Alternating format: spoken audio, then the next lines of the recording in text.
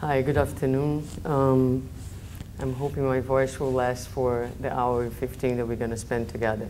And the good thing when you don't have a very big group is that I, we can really have uh, more of a conversation. And so when you have a, when you have a, much bigger group, it becomes less personal. So smaller groups allow for personal converse, a little bit more of a personal approach. This is a very um, challenging uh, topic. Um, I would say working fraternally anywhere, right, is um, uh, a bit of a challenge.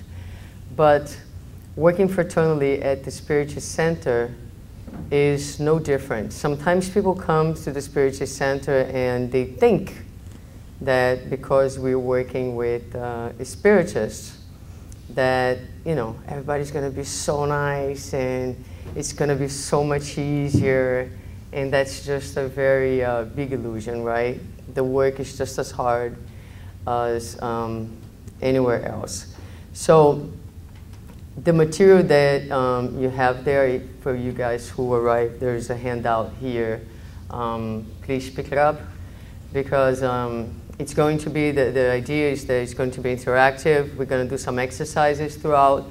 Um, and so everybody should have it, should have a pen on your hands as well um, for writing, okay? Um, you can um, ask me questions at any time, um, no problem. And I have a collection of um, material from uh, the books that you have on the cover that unfortunately are not translated to English. So all the translation that you're going to see was done by me. At the very end of the handout, it says that um, even though I put my best effort into it, I'm sure that's not perfect.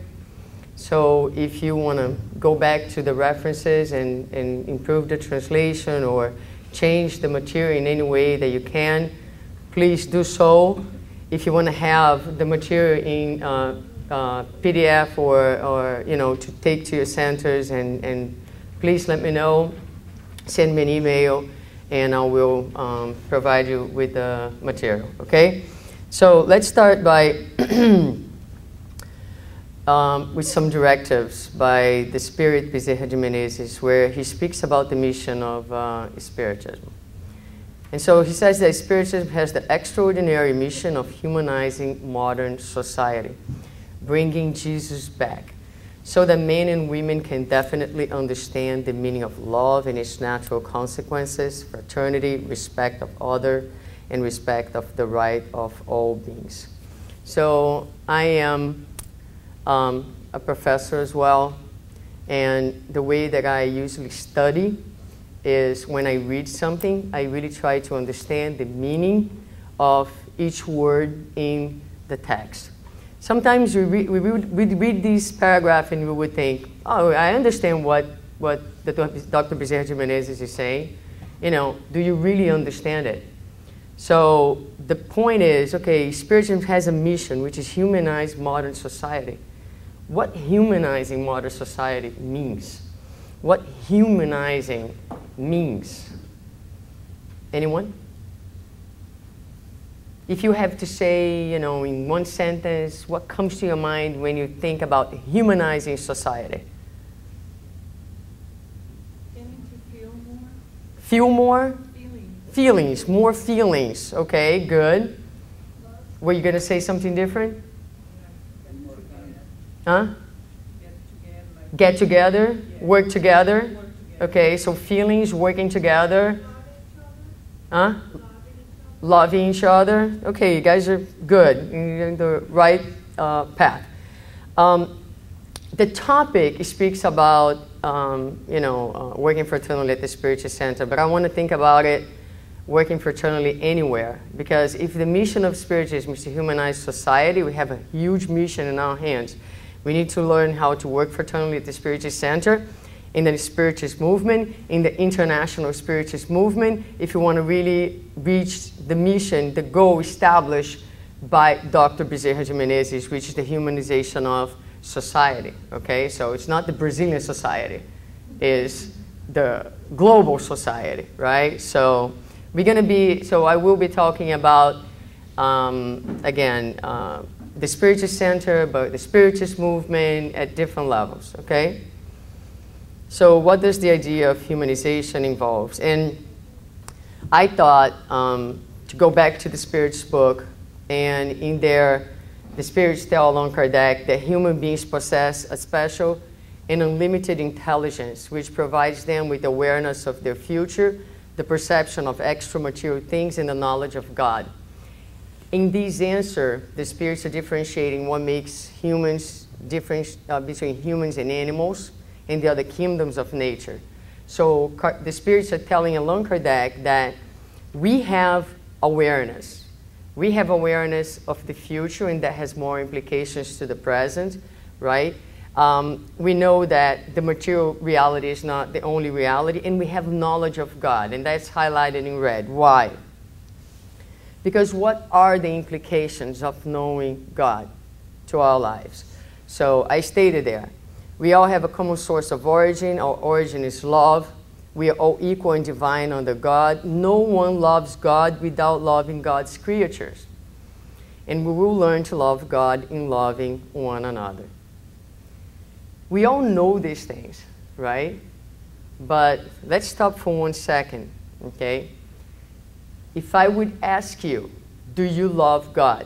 Your answer is? Yes. yes. Everybody loves God? Really? Are you sure? We love God in some level, the level that we can love God. But to come to truly love God, to love God wholly and fully, we must love every single creature of God because in you I see God, in you I see God. If we are unable to see God in someone else, we have yet to learn to love God. So this is the first thing that I want to tell you. I'm just setting the basis for how can we work fraternally, okay? Let's seek this mindset. Let's try this and I'm going to propose a number of exercises, so write them down and see if you can do them as you live here. Especially the people that you have a difficult time with anywhere. Next time you look at them, you're going to say, I am seeing God in you. Not out loud. right? But you're going to see that. Because when you say within your mind, I'm seeing God in you, at that moment, you two are the same. Okay? some of the barriers start to, because when we don't like someone or when we have a difficult time with someone, the first feeling is that you will not like me. So there's an immediate feeling of separation. When I look at someone and say, I see God in you, I see that you are my brother under God, then the barriers start to come down. Okay? Now, in the gospel, we read, it reads that spiritism, when well understood, but especially when well felt, inevitably leads to the results listed above. It is talking about the moral person, which characterize the true spiritist as well as the true Christian, for they are one and the same. Okay. Our spiritist movement and our spiritist centers are filled with doctors in spiritism anyone, any one of you, I assure you, can come over here, take my place, and do what I'm doing. We can all talk about the philosophy and the theory, the beautiful theory of Spiritism. But Dr. Bezerra de Menezes tells us that our mission is to humanize society, and humanize society is precisely to learn to love one another and to bring Jesus back and so, Spiritism, in order to accomplish its mission, needs to be felt. Felt. It needs to find a place in our hearts. You know, when you're reading Paul and Stephen and you start to cry? Anyone has had this experience when you're reading Paul and Stephen and you're like sobbing sometimes in certain parts? Now, that's feeling. You moved. You got to be moved like that every day. You know, it needs to speak to your heart. It can't be just empty words. that don't get to your heart. So when Jesus says you must love your enemies, you have to feel that. You have to bring within you this message. And it helps if you understand that your enemy is your brother. So that's the beginning. But here's the thing if we are going to accomplish our mission of humanization of society, we must feel. So, a lot of what we're going to do today is about feeling. So, summarizing this introduction, I would say that if we want to humanize society, we must feel that our neighbors are our brother. We must understand that we'll not come to love God without loving God's creatures. Jesus is the reference for relating loving all creatures regardless of their sentiment in relation to Him. Now, this is a text from um, the book by um, Cesar Braga Said. There is um, a chapter that's called um, uh, Humanize. And so um, I'm going to read it. Humanize, we are in tune with Jesus' proposal that raises us from instinct to reason, from emotions to feelings, developing in our hearts tolerance and solidarity with our brothers and sisters necessary to live in society. Humanize, we awaken to the need of empathy and compassion, seeking to understand and assist our suffering brothers. Humanize, we understand the true meaning of the word charity as understood by Jesus benevolence for all, indulgence with others' imperfections, and forgiveness of offenses. Humanize, we understand that we cannot be angels without first being humans, tolerating one another, accepting others, because we truly need one another in order to grow and to conquer happiness. The true student of spirit is someone who makes an effort to be fraternal with the one next to him or her. So I just brought this text because it illustrates to us what this humanization process should look like and should feel like. Now, how are we going to humanize society? And so again, it's Dr. Bezerra de Menezes that's going to say, and you spiritists are invited to the work of edification of the future days through your moral transformation, through your efforts to cooperate with the divine psychism, which reaches you through inspiration and through the stars that drop over earth, personified as the spirits who constitute the group of truth. So this is no news. It's just beautifully said by Dr. Bezerra de Menezes, but we are looking at our moral transformation. I believe that everybody in this room is committed to their own moral transformation. So, we're going to start the work part of our um, workshop. And before we start, I want you to, for, for a couple seconds, okay, I want you to think about maybe one, two, three, maybe many people that you know that you are struggling with lately. Okay? So maybe your mind will be empty because there's no one who you're struggling with lately. Good for you. right? But think about it. Think about these persons. If, if there are some in the spiritual center, even better. But it can be anywhere really. Okay? So now, what you're going to do is forget about this person and I want you, in your mind, to look at you, your face in front of you, like if you're looking at the mirror.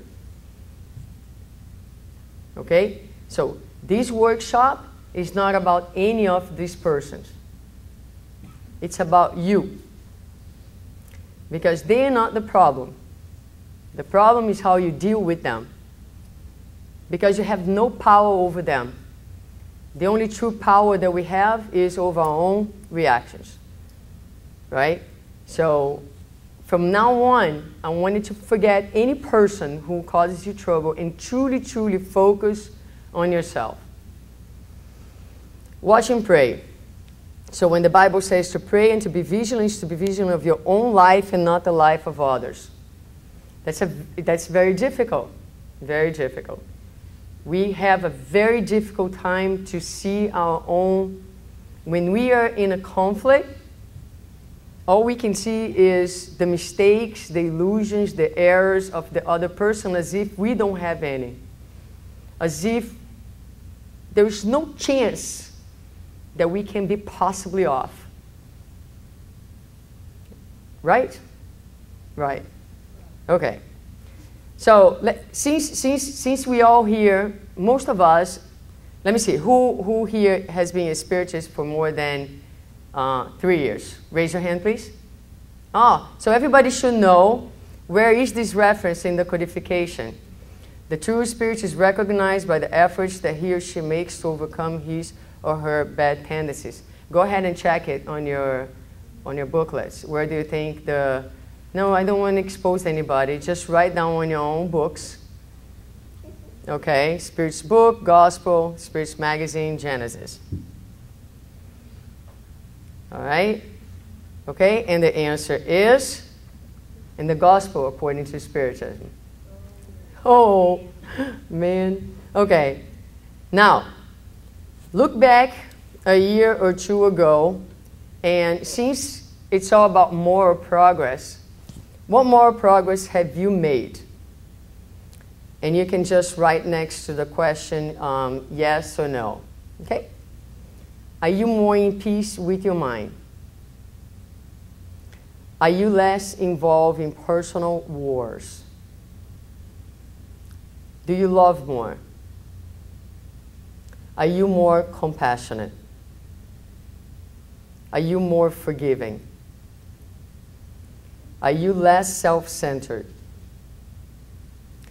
Are you working more to promote Christ's message than your personal agenda?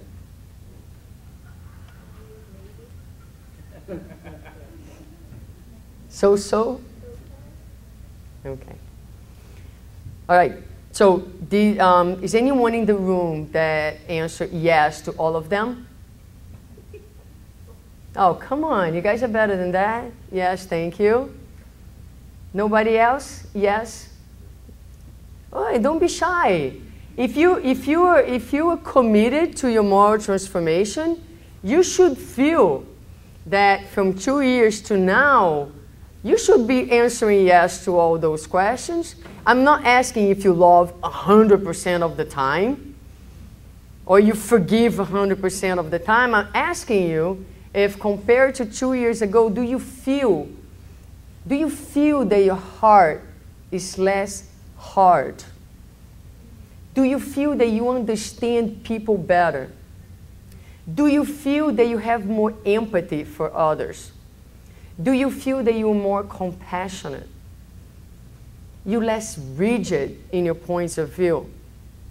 So we are growing, right? So we probably answer yes for most of these questions, hopefully to all of them. But those are questions that maybe each year we should ask ourselves in checking our own uh, progress, our own moral transformation. Now, looking within. Now, I wanted to take a minute and think about two major triggers with people that disharmonize you. Try to think why they trigger you. And let me give you an example. Um, one of the things that uh, trigger me, my shadow uh, comes out, is when I realize that people are not efficient in what they are doing. At work, for instance, you know, um, I have some coworkers that I don't think much of them. And so sometimes I feel very irritated and I have these, um, you know, they, they, again, they trigger my shadow side, you know. And so this is important that, you know, we understand what is in others that trigger us this might not be very easy to answer right now, but you have the material, think about it. Because the most important thing when you recognize that is to ask yourself, why? Because obviously, it's not their problem. Because that same coworker is going to trigger different responses on somebody else. It's not about he or she not being good at what they do.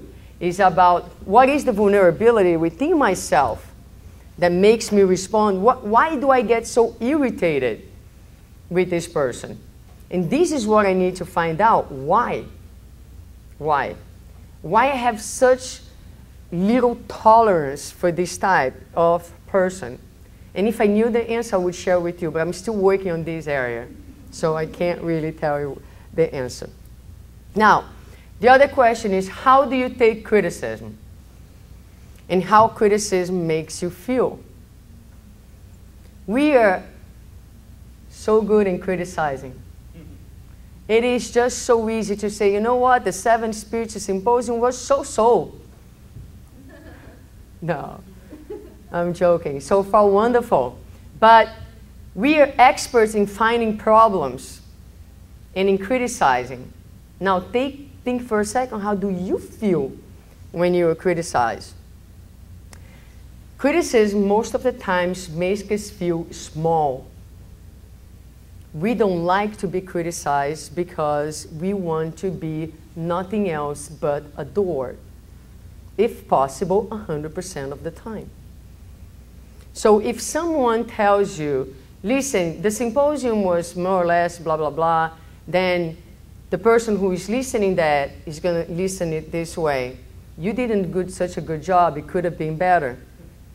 And so what we do is we take it to ourselves.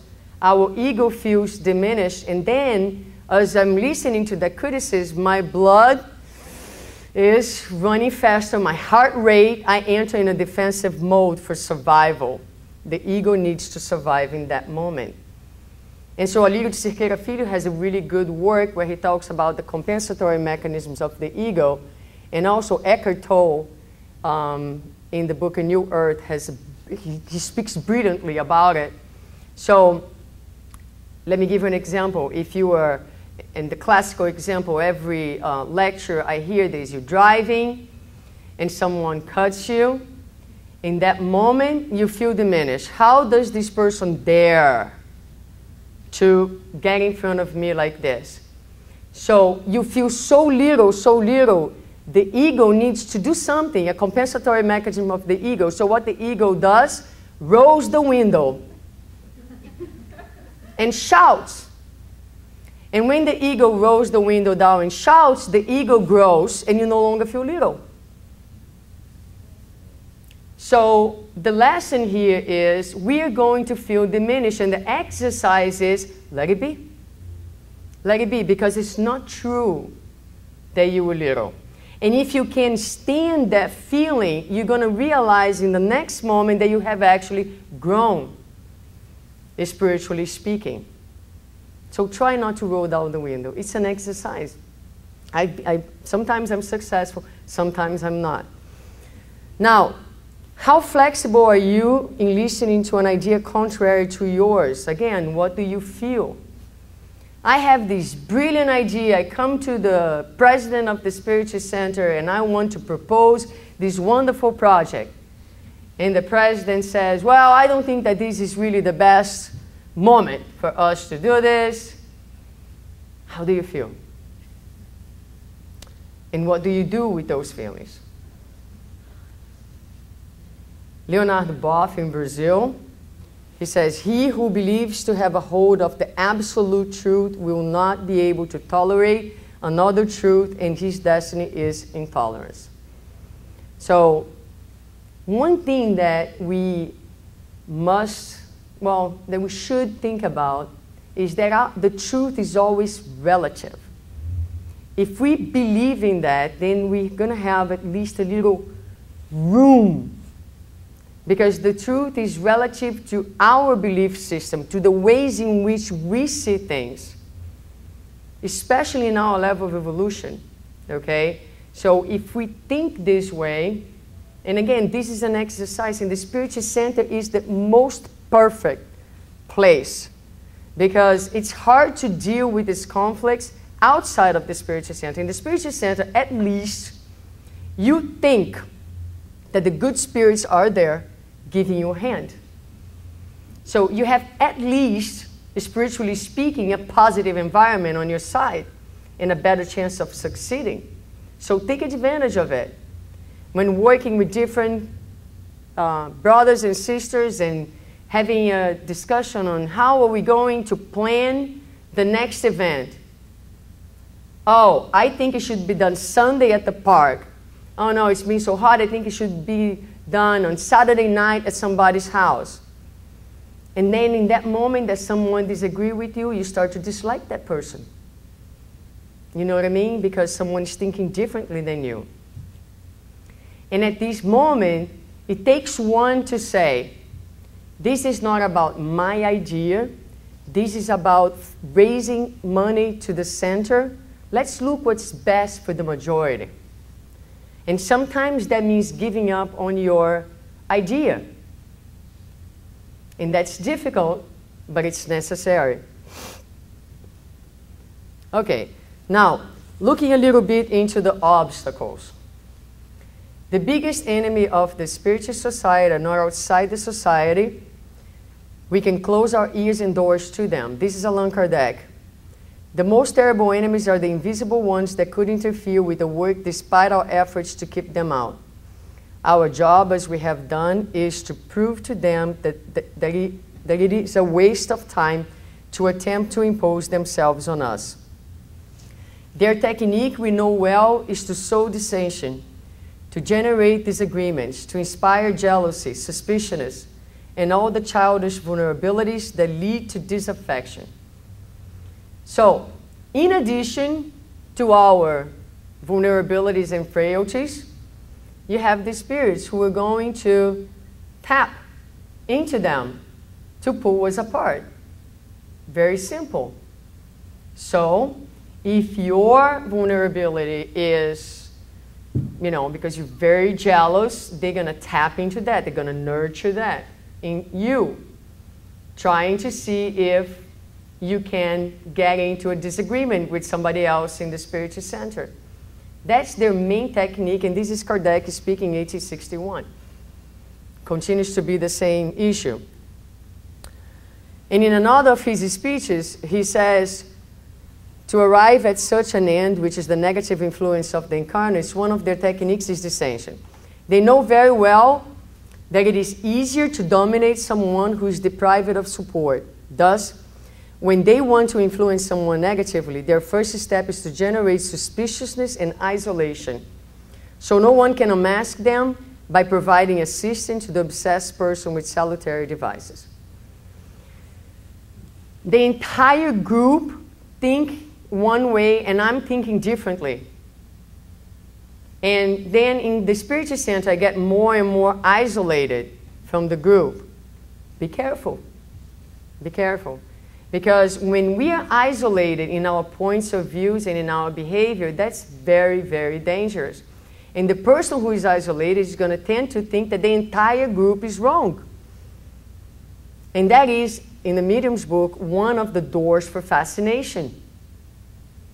Okay? So, we must work together in the spiritual center, not isolate ourselves in the spiritual center, not isolate ourselves in the spiritual movement. Because it is precisely this, this touch, this connection, that allows, as difficult as it is, to sometimes have dialogues with our friends from other centers, from you know anywhere else, and, and, and share ideas and these grants us protection. So again, whether we're talking about the spiritual movement or we're talking about the spiritual center. Gentlemen, personally, I would enjoy an unthinkable privilege if I was shielded from criticism. We don't expose ourselves without being exposed to the darts of the ones who do not think like us. Allan Kardec, highly, highly, highly criticized. Chico Xavier, the same. Jesus Christ, the same. Why do we think that we're not going to be criticized, right? How can we wish not to be criticized? Jesus was perfect, perfect. And he ended up nailed. So we're going to end up where? Nailed. Nailed. So, again, we need to understand what criticism does to us, and we need to create the resources to overcome it. And we need to understand that that's part of living. You know, it's going to be part of our work. The question is, how are we going to deal with it? and then just finishing this um, more theoretical part, we're going to do some more exercises. Kardec will say, but there are two types of criticism. One is filled with venom, where envy betrays itself in each word. The other one truly seeks to research the truth. They are very different from one another. The first one deserves nothing but disdain. I am never bothered by it. The second one deserves to be analyzed. This is important not only because we receive criticism, but when we are providing criticism, what is behind our words? You know, I wish I could say there is no competition between the spiritual center in the United States.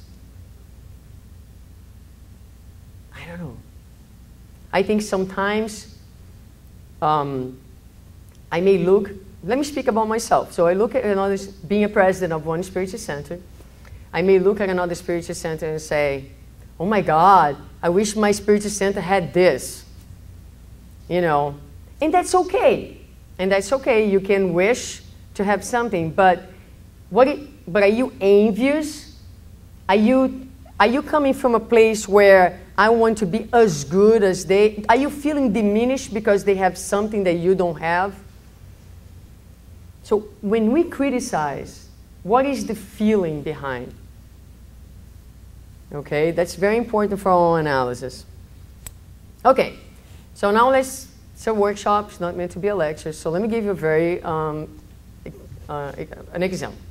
Okay, Nathan does a lecture using 80% of reference from Buddhist ideas in a public meeting. As the person responsible for the quality of the meeting and speeches, you think that Nathan should use more spiritualist references. Should you criticize Nathan or not? Do you feel that it's hard to speak to Nathan about it? Why? What would you say? How would you say it to Nathan? I want to volunteer to speak to Nathan. Anyone? Who would feel comfortable? Raise your hand, please. Nathan is a speaker that came, that just give you a speech at your center. And you, what's your name? Ana Paula, is responsible for scheduling. Nathan uh, is a speaker of another center. You invited him because someone told you that he's great. So he's coming to your spiritual center to speak, and he just finished the lecture, and you're like, mm, mm, mm. I'm going to change this now. Nathan is a worker of your center. I, I think this is better. And yeah, it's better. And then that day he didn't do a very good lecture. And so you're going to approach him and you're going to say,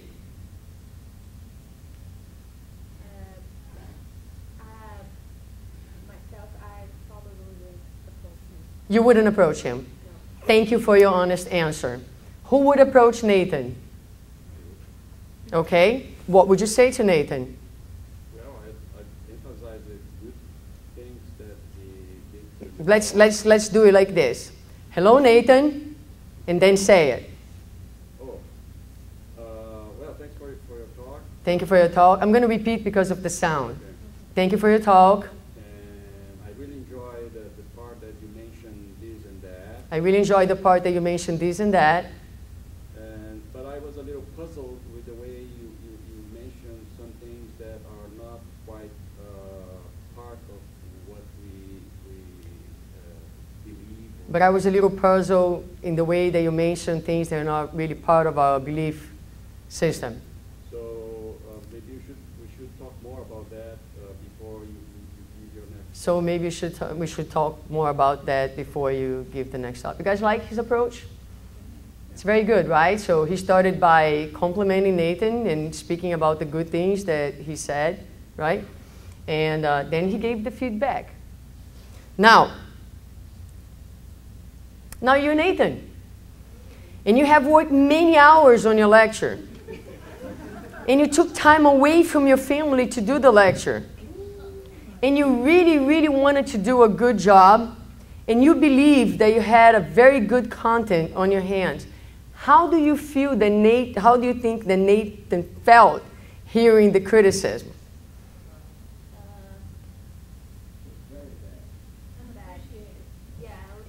Not appreciated, okay? A little stiff, right? Hurt, perhaps? Diminished, okay? So, I mean, we, we answer both questions. I mean, what are the, uh, uh, what are the feelings, right? So he feels uh, diminished. So should we criticize or not? Where did my water go? So one sec. Who thinks yes? Raise your hand, please. Okay, all right. So is this a one-time only presentation? You can make, yeah, it was, it was a public meeting, right? A public meeting. That day, he didn't do a good lecture. But is he coming back to do? Like, what is the purpose? I don't know if you were the, the, the director of the center, would you invite him again? You won't give me my fault because I didn't guide him. See, there's the whole, if I'm inviting him again, I would look at the circumstances. You're going to look at the circumstances? And Right. maybe it was my fault because maybe I didn't explain to him. Maybe didn't explain, so you look at, uh huh, okay. myself first 'cause maybe it was my mistake. All right. Because I assumed that everybody was trying to do the best. Uh huh. Uh huh. Very good. So, um, you know, some ideas are coming up here. You know, um, just one second. Um, this is just an example. I mean, I, I couldn't create a, a, a complex scenario. You know what I mean? But it, it's like what's most important to take out of this uh, situation is that no matter how nicely you speak, the person on the other side is going to have feelings. And one thing that we need to, to do before speaking is to understand that he will have feelings. And so it's important that we talk to each other about the feelings. You know, and, and, and you can say, I like your idea. You can say, you know what, maybe you take some responsibility. Maybe I didn't tell you exactly. Maybe it was me. Uh, this is very, you can start by saying, this is very difficult for me to say because I know how painful it is sometimes to take some criticism. But listen, don't, don't take it personally. Everybody has good and bad days. So I think that your um, words were great, but I also think that we need to seek to, to, to, to understand that the person has feelings and show empathy. You know what I mean? I, I understand what you are feeling. You know, talk to me. Are you upset? When I speak to you about this, are you upset? Because to humanize the spiritual centers, we must be mindful of people's feelings. We must start talking about feelings in our dialogues. And I'm going to um, talk a little bit more about this in a minute. I'm not going to have time. This is like, okay, dealing with criticism. Okay. The lack of criticism reinforces passivity, generates omission, and it's an obstacle for personal and group growth. This is Cesar Braga Said, okay, in his book. So you can choose not to criticize, but there are ways, like Kardec says, that you can criticize somebody, okay? We can try to be humane in the ways that we speak, understanding the person's feelings, okay? And it is precisely in this difficult dialogue, as difficult as it might be, that true friendship is built. And let me tell you something. If you can have a group of workers in your spiritual centers that truly feel that they are friends, but not only friends when we gather to raise money and party together, friends when we are able together to overcome the conflicts. And this is what marriage is about. Marriage gets deeper not because of lack of conflicts, but because of the possibility of the couple to overcome the conflicts. When you overcome a conflict together, you are more united. And so the relationships in the spiritual center are going to follow the same path. And I'm going to tell you how to deal with conflict in a minute. So, just some other few ideas. It is a contradiction to criticize without self criticism. how we speak. True can be hard as a diamond or as soft as the peach blossom. Many have learned to be sweet when criticizing, but are sour when taking criticism. We become really good, we can become really good in speaking to others, in learning how to criticize others. But still, when we are the recipient of the criticism, it's a huge problem. And criticism is not only to say what's wrong, but to say what's right. Right? it is very important that we tell people how well they are doing. Very important. Every day, you're doing a good job. They're not going to be vain just because of that. You've done a really good work. It's important. We need that. It's encouragement. Now, conflicts. This is Allan Kardec again. We cannot lose sight that we're in a moment of transition, and no transition takes place without conflict. No one should be then sur surprised that certain passions will come to life as a result of ambitions not met, wounded personal interests, and frustrated pretensions. Little by little, however, it will all come to an end, the fever will cease, men will pass, and the new ideas will prevail. Spiritists, if you want to be invincible, be benevolent and charitable. Goodness is a shield against which all the evil movement will shatter. So, again, going back to the beginning, the mission is to humanize society. Jesus cannot just be this beautiful figure that we admire. We need to bring it to the heart. As difficult as it is, we need to say, let me exercise goodness. In the beginning, it's not spontaneous, but it can be done as an exercise. I'm going to skip this. So let's go to um, conflicts. Joanna de Angelis says that conflicts constitutive of human beings and must be properly administered. They're natural. And we can manage most of them. So probably we would wish that the spiritual center didn't have any conflicts.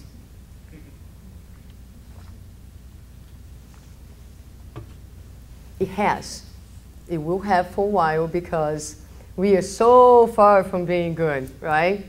And so we have to deal with each one's shadow every day in the work. But the good news again is that we can do something about it. So Um, they represent a search for alternatives. they challenge old ideas and behaviors. They motivate change, and they help building relationships. So these are all ideas in turn around um, conflict. So please go ahead and check one or if you, if you think more than one of the options uh, that apply to you on how you deal with conflicts. Go ahead and. Oh? Really? huh? Depends on the circumstance? okay.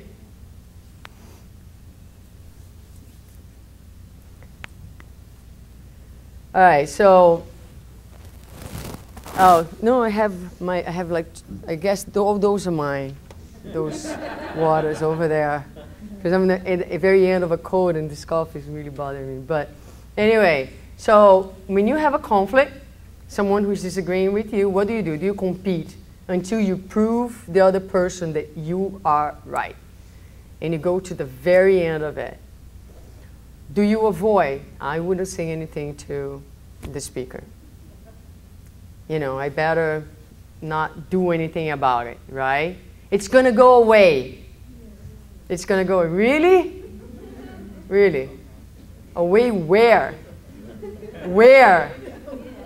To your back muscles. So you go to the chiropractor to adjust your back the next week, right? yeah. Right? Goes nowhere. So, no, I think it's better not to talk because, you know, time. Time. Time what? Time will make it worse because it's going to be unresolved and then it's going to have another conflict later on. And then by the time you address it, it's like explosion, it's a bomb, right? Settle. Settle is when you say, well, I'm going to do what the other person wants, but deep inside you are dying. You were enraged, but you just try, you know. Um, so you can settle, you can appease, but without true resolution inside of you. Or you can cooperate.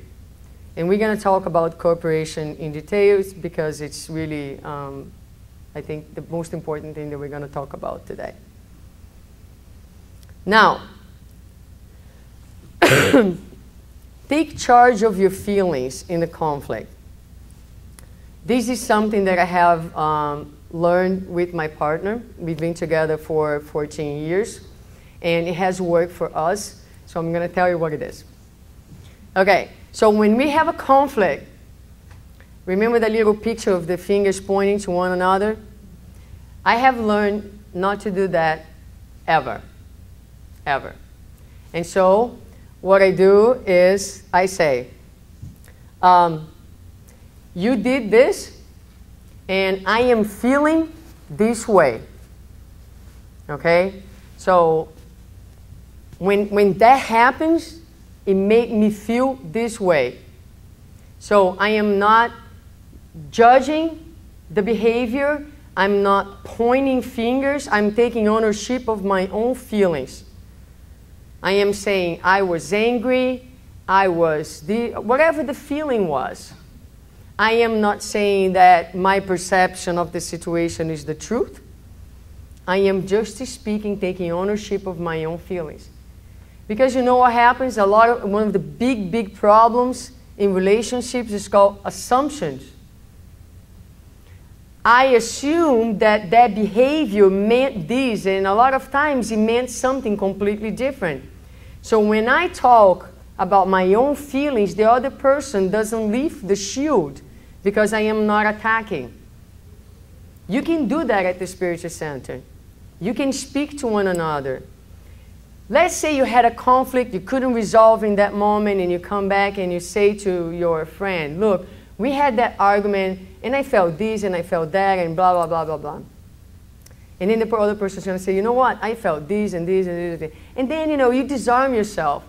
And each one is going to talk about their own experience instead of talking about the other. Okay?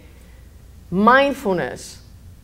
Oh, I had this conflict and I felt so sad afterwards. Oh, I'm so frustrated. Those words, a lot of times, are cover for I'm pissed. I was raised in a, in a, in a family where um, anger, it's not a feeling that a spiritist should have. Because, you know, we are raised as spiritualists and we are called to love and we are called to forgive. So you don't get angry, right? But actually, anger is a neutral feeling that just telling you there is something wrong. There's nothing other than that. And so the first thing is to be mindful of our own feelings. And mindfulness is hot today. So, what is mindfulness? Mindfulness is when I just become aware. And what do you do with that? Nothing. Nothing. You become aware of the feeling. Just the fact that you become aware of it, it already helps to dissolve some. That's what mindfulness is about. So, do not accuse. Remember that your perception is not the truth, and the assumptions are dangerous. So, with those uh, uh, hints and tips in mind, hopefully it's going to start to get easier in the spiritual center in dealing with uh, one another. Now, another example. Okay, mediums group. One member suspects that the medium does not. Everybody here knows how a mediums group runs, and yeah, everybody knows. Okay, so there is there is um, especially in the beginning. Let me go. Let me uh, go back. When, when uh, a medium incorporates and gives a message, it's never, never, ever 100% the medium. Always has some of the content of the medium that goes together with the message that's being delivered by the Spirit, what's called anim, you know, a little bit of animism, your own content that goes into the message.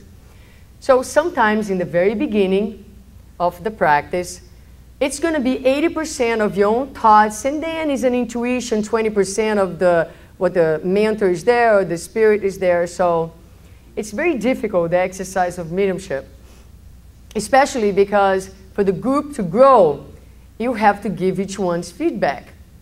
And that's why mm, uh, the mediums group is such a hot topic in the spiritual center, and so many spiritual centers have a difficult time with it because you actually need to work together and you need to be able to take criticism in the mediums group. And that's why Kardec also talks how important it is that is a group that has a very strong friendship, has been worked together for a long time, a long time, which that's why you must study for a while with the same group of people to create the basis. The basis. The most important factor in the mediums group, besides the knowledge, is the fraternity among the members. Because it's an environment where we're extremely susceptible to criticism and to dissension. And any hard feeling in the mediums group is going to affect the spiritual ambience. And that's why it's so important. And that's why people should not hurry to have mediums group. But that's, I already went out of track. Let's go back. So one member suspects that the medium does not incorporate but speaks about his own conscious content. The member gives feedback to the medium. The medium is angry. The medium reacts withdrawing. The relationship between the two is tense, affecting the harmony of the work. It happens a lot, okay? Whether it's in the mediums group or outside of the mediums group. All right, so two different dialogues that I'm bringing to you. One of them, the, this is the, um, the medium saying, I cannot believe that you are suspicious of me. You are suspicious of me. I am accusing you, right? And the member is going to say, But every time you speak, you repeat the same content. It is obvious that you are speaking of yourself. I think you need to be more conscious. So there's a judgment and a righteousness about what this person is talking about. Let's see another dialogue. I feel hurt by a comment.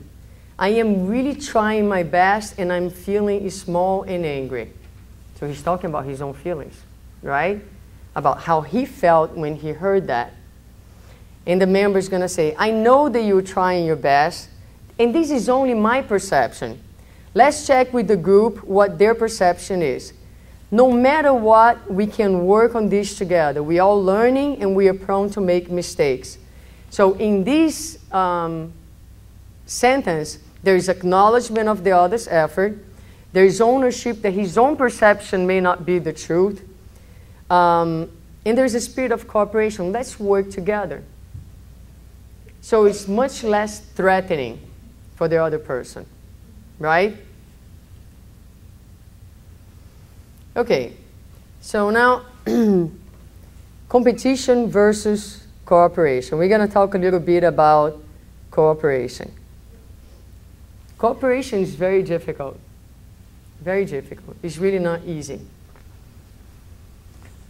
And the reason why is when we want to cooperate with somebody else, we must accept the idea of being uncomfortable. It's much, much easier to be authoritarian. As a, as a um, president of a spiritual center, I could say, this is what we are going to do, this is how it's going to be, we're going to open this group, we're going to close this group, we are studying this today, we're doing that tomorrow. That's it. I establish the rules, and that's the end of it. It's easy. Cooperation is a type of, um, of behavior that belongs to the future. We are struggling with it. We're struggling with it. We work, it's much easier to work alone than to work together. we talk about the regeneration world. How do you think, really, that you're going to enter this world if you don't know how to work with others? we must learn to work with one another. It's easier to work alone. It's easier just to do whatever is in your mind. Cooperation means that you're going to listen to someone else who might disagree with you, and you have to bear the discomfort of disagreement. So it's a much higher level of skill when you can actually cooperate. Bezerra de Menezes stated, in former days, painful renunciations were demanded from the followers of the Master of Nazareth from outside to within. Now the renewing struggle takes place from the inner sanctuary outwards. We no longer have the martyrdom in the circus. The present time calls for hearts committed to the Lord in themselves. Fraternity will constitute the blessed environment of work within Christian Spiritism, or we will remain in the same static expectation of the beginning when the divine material of the revelation and of the truth did not find access in our unredeemable hearts. So the goal, the goal is that each spiritual center is going to have this um, environment, an environment of brotherhood. And I'm going to state this again. It's going to be much easier to deal with the conflicts if we are true friends of one another. It's much easier to forgive if you are forgiving a friend of yours.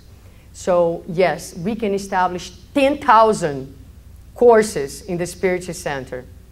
My Spiritual Center has a course on the Spirit's book, on the Medium's group, on the Gospel, in Portuguese, in English, in Spanish. It's in university. But the quality of the relationships, who's paying attention to it? Whether it's in the Spiritual Center or in the spiritual movement, we can promote a thousand of seminars. Can we get along? Can we cooperate with one another? You have a beautiful project. Can we share? Can I help you? If I don't have the resources, maybe I can join forces with you and make your project succeed. And so those are just things for us to think about. I have 15 minutes, no? Okay. Rivalry distances us from Jesus' proposal and keep us in the domain of our own imperfections. Many spiritual centers would produce more if they would prioritize the quality of the relationships. The only competition that we really should get into is with our own selves. Now, cooperation. So the idea of cooperation is an, it is an attitude that requires the courage of diminishing the self so that the group can excel and the outcomes flourish. Cooperation strengthens the individuality by negating individualism and stimulates fraternity in detriment of selfishness. So that's one idea also that I also try to emphasize a lot. It's not about me, it's not about you, it's about making the, the words of Jesus and the gospel to prevail if it's necessary for me to diminish myself. And a lot of times, you know, what, but I'm going to diminish the self. What does that mean exactly, right? So that's why I put here. It's an act of humbleness. The self is connected to the divine. So when we feel truly connected to the divine, when our ego doesn't have any need for recognition, it's not about me being recognized, it's about the work being recognized. I'm not the one who is doing. You know, I'm too little, I'm too nothing. Jesus is doing through me, and it's about promoting the gospel. It's about humanizing society. We must disappear. We must move away from the spotlight. Not that we're not going to be speaking anymore or be on the camera anymore, that's not what I mean. But it's not stardom. We're not here to be stars. We're here to be little servants to a much higher cause, not my personal cause, what my agenda should be like. And this is important because sometimes in the spiritual center, may, even with all the difficulties that we have to give up on our point of view, you can say, but the most important thing is that the harmony of the spiritual center prevail. When you, when you read Paul and Stephen, what is the church where the, the, the phenomena of, of voices would be heard all the time? Who knows? One of the first churches in which city? Um, I don't even know if I know how to say in English. Antioquia. How do you say Antioquia? Antioch. In Paul Stephen, he says that the mediumship in that church was amazing. You would hear the voice of the Spirit talking, the messages were brilliant. The reason why is because the sentiment of fraternity and simplicity among the workers of, in, in words of Emmanuel, not mine, it was the highlight. And it is precisely that that allowed for all the phenomena to take place. So he must become greater and greater, and I become less and less. Cooperation is an exercise of humility and forgetfulness of the self. It's not about you, it's about the group and the goals. And the merit does not belong to you, it belongs to Jesus.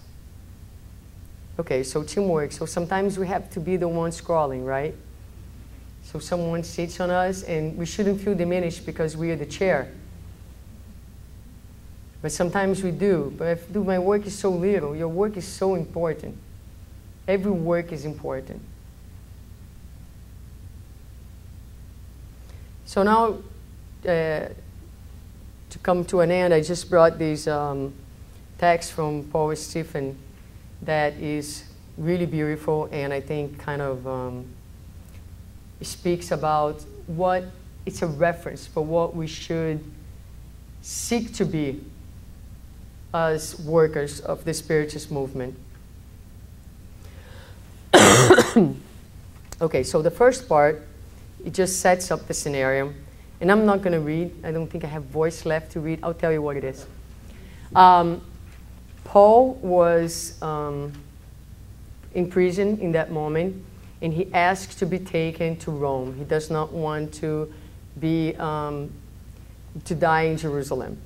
So he is saying goodbye to all the people before he goes on the ship to be taken to Rome.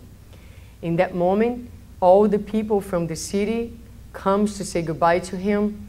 Uh, James comes uh, to say goodbye to Jim, James, with whom he had had a big rivalry throughout many years.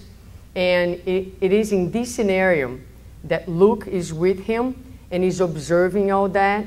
And and um, the children are calling him father for the first time. It's a very, very moving scene. And Luke is observing all that happening, and he's going to say to Paul, Few events in this world have moved me as much as this one. I will record in my notes how you were loved by all who receive from your fraternal hands the blessing of Jesus. And let's look at what Paul says. Paul, okay? He says, No, look, do not write about virtues I do not possess. If you love me, you must not expose my name to erroneous judgments. You must speak instead of the persecutions I carried out against the followers of the Holy Gospel, of the grace the Master shed on me at the gates of Damascus, so that the most hardened person do not despair of salvation but await his mercy at the right moment. You shall speak of our encounters, encounters with powerful and learned men, of our work with the unfortunate, so that the followers of the gospel in the future do not fear the most difficult and trying situations, aware that the messengers of the Master will always watch over them when they become true instruments of fraternity and love along the pathways that unfold for the evolution of humankind. However, keep silent about the endeavor because the garland, the reward belongs to Jesus alone. It was He who lifted us of our anguish, anguishing misery to fill out, to fill out our emptiness. It was His hand that charitably took us and redirected us to the holy way. No matter how much we have studied, we still feel an abyss between us and the wisdom of eternity. No matter how hard we have worked, we are not worthy of Him who has watched over and guided us since the first instant of our lives. We have nothing of our own. The Lord fills the emptiness of our soul and does the good that we do not possess. this is very serious. Because whether it's in the Spiritist center or in the spiritual movement, we see nowadays, and that's a little Cerqueira Filho who says, many, many Spiritists putting themselves on the spotlight in the work of self-promotion. When Paul of Tarsus said that he was nothing, he wasn't worthy of him. So his words, we have nothing of our own. The little bit that we do, we do it because Jesus helps us, because the spirits are next to us. So we must have no illusions of grandiosity. In every single work and every single thing that we do, we should give Jesus the credit for it. And we should seek this mindset when we are working in the Spiritist center. When the trembling elderly embraces us in tears, when the children kisses us in tenderness, they did it to Christ. We get the compliments and we feel so good about themselves when people are complimenting us. It becomes about us, but it should always be about the Christ. The little bit that I do, I do because of His mercifulness. The little bit that I do, I do because of His goodness. It's about Him. So we have this illusion. Oh, I, you know, I'm a great speaker. I'm a great president. I'm, I'm great, great nothing. Nothing. Because if Paul was nothing, who do you think you are? Right? James and his companions. But this, um, this is not in a negative way. Okay? Don't, I don't want anyone to take my words wrongly. We are divine beings. We are beautiful beings. But we just have to express our beauty from the essence of who we are and not from the ego have you ever, ever seen Chico Xavier talking about himself, about his own goodness, about the amazing mediumship that he had? No, never, ever. Because when you're in line with love and God, there is no self promotion. In that sense, Facebook is a very um, uh, serious uh, you know, thing in our lives because it is, as I say, the, you know, the, the window for the ego that can really uh, express itself. Um, so James and his companions did not come from Jerusalem only to demonstrate the loving fraternity. They came to bear witness of their love for the Master, who has united us in the same vibration of sacred-centered solidarity. Although they are unable to express the hidden mechanism of such glorious and sublime emotions. In the midst of all this, look, we are only poor servants who have taken advantage of the Lord's possessions to pay our own debts. He has bestowed mercy upon us, upon us so that justice may be done. The joys and divine emotions belong to Him. Therefore, let us not have the least concern about relating episodes that would leave a door open to vanity. Therefore, let us not have the least concern about relating episodes that would leave a door open to vanity. Read that several times after you leave here. I will. It is enough for us to have the profound conviction that we have paid our claimers' debts. So we should this, seek this mindset and this awareness. The time is almost over, so um, you have the handbooks. Um, you can go back to it and uh, write with your own words what the gist of this message is for you, and each person would probably write a little different what uh, it meant to you. Um, there was a lot more to talk about, but I figured I would talk what was um, uh, what the time would fit. And just so you know, there is a little bit about leadership here. And um, I really, really love this concept of leadership being horizontal. It's not vertical. So horizontal leadership means cooperation, means listening to others, means not taking decisions on your own, but checking with the group. And all decisions in this, outside of administrative decisions, all other decisions should have at least two people cooperating. So, because a lot of times we are so imperfect in our thinking that, you know, it's better if you are cooperating with someone if you want to keep the quality of the work. So, you can use again the material write what um, horizontal leadership would mean. We also brought here the concept of empathy. So you can go through this. This is pr- pretty self-explanatory. You can look at, you know, um, what kind of, um, which one of these um, characteristics the leaders of your group have, or you as a leader have. In here, there is, and you can read on your own time because I'm going to respect the time. Um, there's a final message uh, from Dr. Bezerra de Menezes that I translated from this book, Bezerra de Menezes. Um, what's the name in Portuguese? Yesterday and Today. Bezerra de Menezes, Yesterday and um, Today. So we have two minutes, so I just want to know if anybody wants to say anything, ask any questions, or anything. Wow, you're so quiet. How come? No one has conflicts at the Spiritist center? I must go visit your Spiritist center. No? Okay. All the things you say, you're. That's a lot of a lot of stuff to think about, right? Take take the booklet to your groups and do with your group of workers. You know, some of those uh, exercises. Um, it can be a very good um, practice and a, a very good uh, team building experience with um, with your group. Okay, so thank you very much.